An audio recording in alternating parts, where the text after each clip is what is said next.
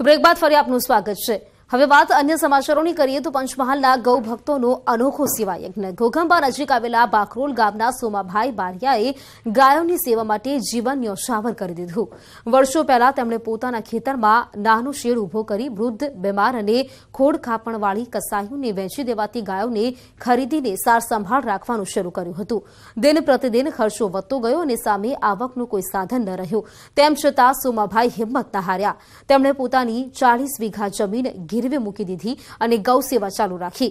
આજે તેમની પાસે બસોથી વધુ ગાયો છે. વૈદિક હોળી માટે વપરાતી ગૌ સ્ટીક થકી બાકરોલ ગૌશાળા સંચાલક સુમાભાઈ બારિયા શૂન્યમાંથી સર્જન કરી આત્મનિર્ભર બન્યા છે.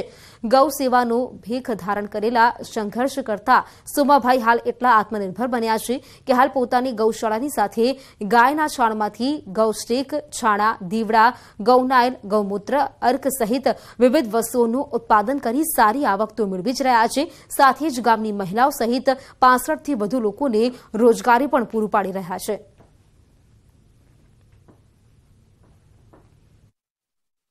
શરૂઆત જ્યારે હું ગાયોની કરી ત્યારે ખૂબ જ પરિસ્થિતિ ગંભીર હતી. ત્યારે ગૌ સેવા કરતાં કરતાં મારું જમીન, ઘર ગીરે મૂકી દેવામાં આવ્યું.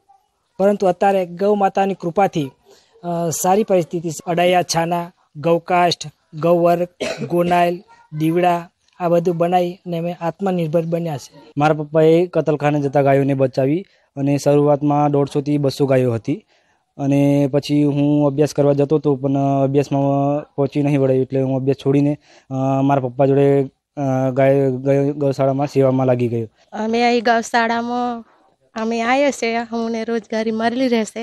નાના બનાવીએ છીએ આ રોટલા બનાવીએ છીએ કોડિયા બનાવીએ છીએ અહીંયા ગાયના ગોબરમાંથી ગૌ કાષ્ટ બને છે, અડાયા છાણા બને છે ગૌરક બને છે, અને કોળિયા બને છે.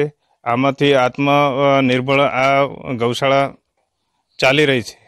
અહીંયા પાસઠથી ઉપર અન્ય લોકોને રોજગારી મળી રહી છે. હિન્દુ સનાતન સંસ્કૃતિઓમાં ગાયને માતા માનવામાં આવે છે. અને ગાયની પૂજા પણ કરવામાં આવે છે. પરંતુ ક્યાંક ને ક્યાંક એવી સ્થિતિ પણ જોવા મળી મળતી હોય છે કે જ્યાં સુધી ગાય દૂધ આપતી હોય અને આવકનું સાધન હોય, ત્યાં સુધી લોકો પાળતા હોય છે અને તેને પછી વેચી દેતા હોય છે. વેચી દેવામાં આવતી ગાયો કેટલાક તત્વો દ્વારા કતલખાને લઈ જવામાં આવતી હોય છે અને આવી જ કતલખાને લઈ જવાથી ગાયો સ્વામે જે ઘોગંબા તાલુકાના બાકરો ગામના સોમાભાઈ છે, તેઓનું દિલ દ્રવી ઉઠ્યું હતું અને તેઓ એક નેમ વ્યક્ત કરી હતી કે જે પણ કતલખાને લઈ જવાય છે તે ગાયોને પોતે તેનું જતન કરશે, પોતાના ઘરે લાવશે અને પાળશે અને જેના માટે આ ગૌ સેવાની જે ભેખ લીધી સોમાભાઈએ, તેમાં તેઓને પોતાની જમીન વેચવી પડી, પોતાના સંતાનનો અભ્યાસ બગાડવો પડ્યો. સાથે સાથે પોતાની પતિના દાગીના પણ ગીરવે મૂકવા પડ્યા હતા.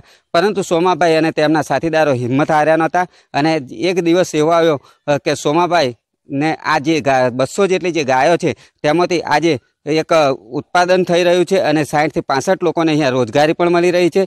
ખાસ કરીને જો વાત કરવામાં આવે તો સોમાભાઈને જે માનસિકતા છે તેમાં સેવા પરમો ધર્મ સાથે સાથે પ્રકૃતિ પ્રેમ પણ જળવાયેલો છે અને પ્રકૃતિ પ્રેમ એમનો જે વૈદિક હોળીના માધ્યમથી તેઓ વ્યક્ત કરી રહ્યા છે. તેઓ લોકોને અપીલ પણ કરી રહ્યા છે. હાલ તેઓ ગૌકાષ્ઠ બનાવી રહ્યા છે, ગૌમૂત્ર બનાવી રહ્યા છે. સાથે સાથે જે ઋષિમુનિઓએ આપણા જે હિન્દુ સનાતન ધર્મમાં જે જણાવ્યું હતું અને જે મહત્વ હતું, ગૌમૂત્ર, ગાયના છાણનો ધૂપ અને જે છે તેનો ઉજાગર પણ સોમાભાઈ કરતા જોવા મળી રહ્યા છે. સોમાભાઈના હાલની જે પરિસ્થિતિ છે, તે ચોક્કસ આર્થિક પરિસ્થિતિ સુધરી છે. સાથે સાથે અહીંયા જે રોજીરોટી છે, તેનું માધ્યમ પણ સ્થાનિકો માટે ઉત્પન્ન કર્યું છે તેઓએ. પરંતુ ચોક્કસ કહી શકાય કે સોમાભાઈનો જે ગૌ પ્રેમ છે એના માટે કોઈ શબ્દો પણ નથી, એવું કહીએ તો પણ અતિશયોક્તિ નથી. Rajesh Joshi, news eighteen Gujarati, Ghoghamba. તો સમાચારો